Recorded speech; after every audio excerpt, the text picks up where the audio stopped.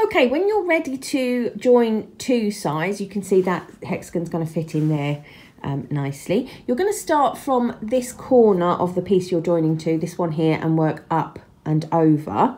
Um, and it works when you're going um, along this first side, it works exactly the same as as when you did your single side join here. Uh, you know, you're going to work this corner in with this and you're going to go along here. But it all gets a little bit different at this centre point. So that's the thing to focus on here. But let's just do it.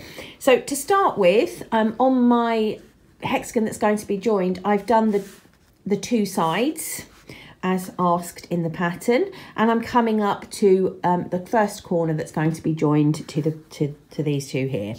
So just the same as before, I'm going to put my hook into the corner space and do one double crochet and one chain.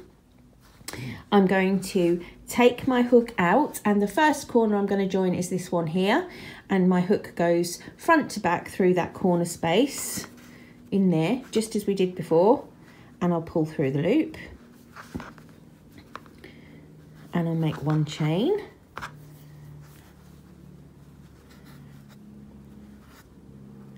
And I'll go back into my corner space down here to finish that nice corner okay so so far exactly the same as joining one edge. All right and we're going to work the join up here just the same as we did before. So I'm going to do one chain and then I'm going to take my hook out, go through the next space and pull the loop through and then do my next door but one neighbour double crochet and one chain.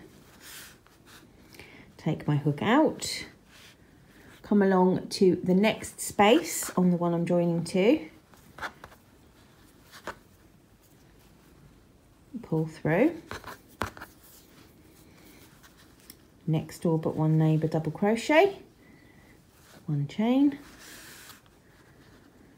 Hook out. Next one along pull through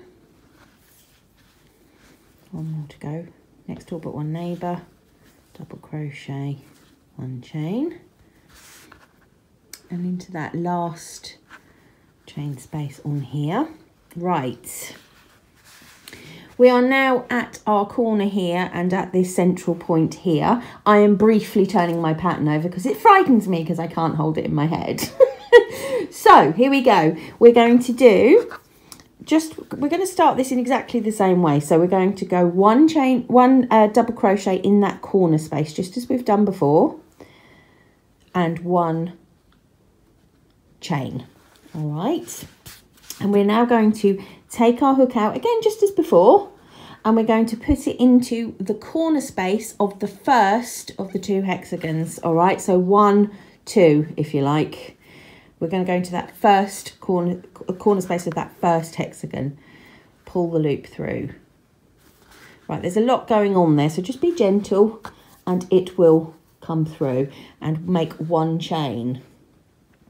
Right, this is where it's a little bit different. We need to hand over to this guy now because you can see it's just not attached at all. We're nice and secure on this one. This one's still flapping about here. So we need to hand over to this one and this is how we're going to do it. Take your hook out again and this time I'm turning it now because I'm going to work up this one and I'm going to put my hook into the corner space of this hexagon. So into that corner space and I'm going to get that little loop can't get it. And pull it through. All right, so now that's brought into play and that is sort of getting close to being um, close to being joined, right? So we now got both things uh, in play. They're all sort of starting to join together and then we're going to finish it off by finishing off our corner um, on our hexagon we're working on. So we're just going straight back in to the corner where we made that first double crochet, which seems about five years ago now, and finish off. And you can see our little triangles formed in that corner now. And one chain. So let me just stop and you will see that all three One, two, three. All three corners are joined. What we're now going to do is revert back to, to joining one side because we've just got to join along this side again. And you know how that goes. Taking my hook out. I'm going to go into the first space next to the corner. Put my hook in front to back. Oops, I've put it over the... That's better. Yarn's going behind. Oh, I've undone it. Oopsie. Sorry, let me just put that back. Try that again. So, hook out, going into the next chain space, front to back, picking up that loop and pulling it through. And making my next door but one neighbour stitch and one chain and taking my hook out and going along to the next space. Spoke too soon about it being quiet. Some sort of aerial display going on. I don't know if you can hear all the aeroplanes and helicopters. And next door but one stitch and one chain. And we're working along just like that through the next space. Next door but one stitch one chain. That one chain is what we're going to haul through every time. so I've got last space before the corner, pick up that one chain and pull it through. I'm now going to start working my corner again. Here we go. So one double crochet in the corner, one chain, remove the hook, go back into that corner space of the last one we're joining to.